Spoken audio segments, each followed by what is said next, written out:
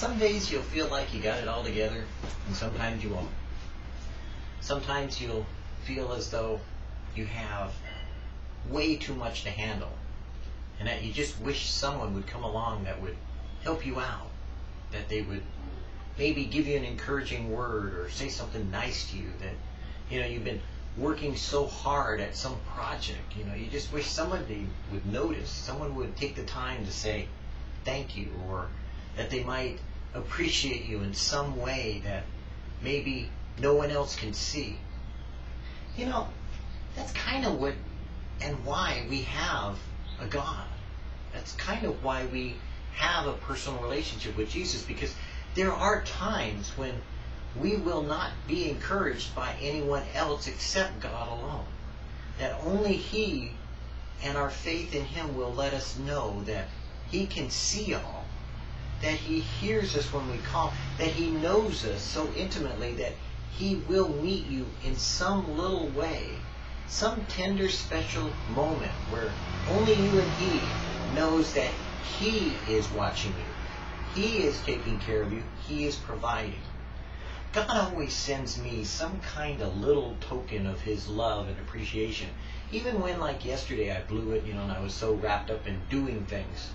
You know, today, it was a whole different story. It was like, you know, I kind of went, Lord, you know, I don't want to get caught up in the work. I want to get caught up in you. And so I did some devotional stuff, you know, and then I kind of took some time on the plants. And then the Lord sent me just like we've been waiting for these tomato plants. You know, the little cherry tomatoes have been growing little tiny cherry tomatoes, and you know they've been not growing much. You know, because it's been kind of like warm and cold and warm and cold, so they they stayed small. But then today, our beefy tomatoes, all of a sudden, there's two big, giant, beefy tomatoes on it, and it's like they're bigger than the cherry tomatoes, and we've been watching every day for it, so I don't know when they grew, but they just poof popped up. And it's like, wow, Lord, that is so cool. And it was after I was taking the time to kind of stake out my my tomato plants because they've gotten so big I have to now kind of you know get them ready to be set in their places, you know, where they're not going to move anymore. Although that's kind of dangerous out here with the wind, but anyways, I went ahead and was building this little kind of like, you know, vining thing to help it hold it in place and that's when I noticed the tomatoes, and it was like, oh, wow. I said, man, my wife's going to get a kick out of this, Lord. And it was so good, you know, of God to give me that, you know, fruit, you know, to see it bearing fruit, to see the plant showing forth, you know, its vitality and its blessing from God. It, two little, well, they're not so little, you know, they're, they're little, but compared to a big tomato, but they're there and you can see them and they're like, wow, they're like busting at the seams to grow. You could see it, you know, you could feel it. And I was like, man, that was such a blessing to me, you know, to give me encouragement that, you know, God uses all things around us. God uses plants or animals or people or places or things, you know, to encourage us at times. And did you know that God could use you to encourage someone else when you're discouraged? that at the moment that you feel like you really wish someone would notice, look around. Seriously. Take a moment to back off of your own self and look around and see if there's someone else who also maybe no one's noticing, no one's paying attention to, no one's giving any compliments to. I'm famous for actually having, in the old days, I used to go out of my way to spend the time to find those people that nobody noticed except me. And then I would say something special to them, or I would send them a card or give them a present anonymously.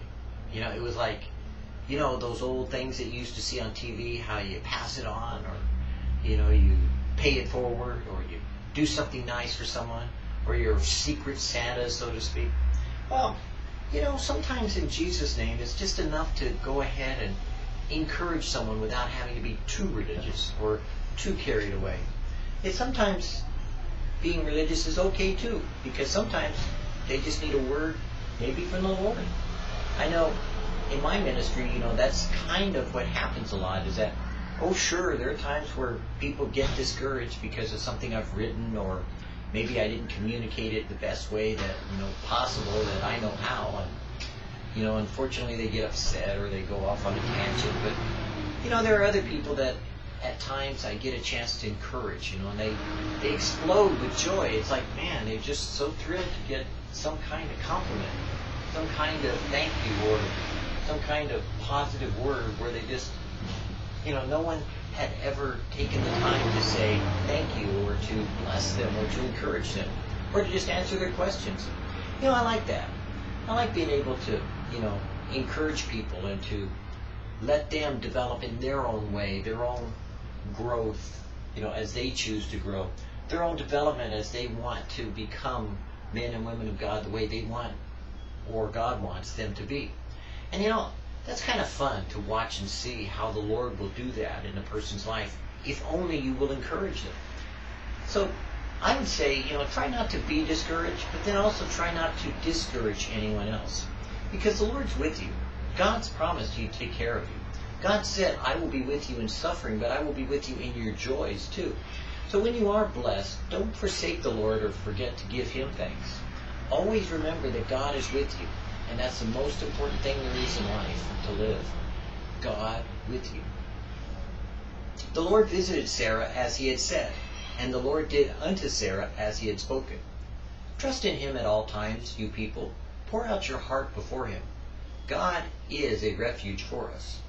David encouraged himself in the Lord his God. God will surely visit you and bring you out of this land unto the land which he swore to Abraham, to Isaac, and to Jacob. I have seen, I have seen the affliction of my people which is in Egypt, and I have heard their groanings, and am come to deliver them. He brought them out after that he had showed wonders and signs in the land of Egypt, and in the Red Sea, and in the wilderness for forty years. There failed not aught of any good thing which the Lord had spoken unto the house of Israel, and all came to pass. He is faithful that promised. Hath he said, and shall he not do it? Or hath he spoken, and shall he not make it good? Heaven and earth shall pass away, but my words, my words shall not pass away. The grass withereth, the flower fadeth, but the word of our God shall stand forever.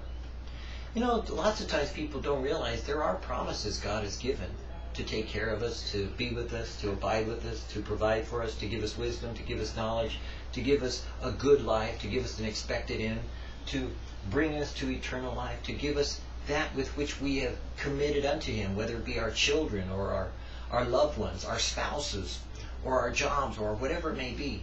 Whatever it is that you have committed to God, God has promised He will take care of. You just need to trust Him for that. Because if He said it, not only will He do it, but you'll see it, and you'll give Him credit for it.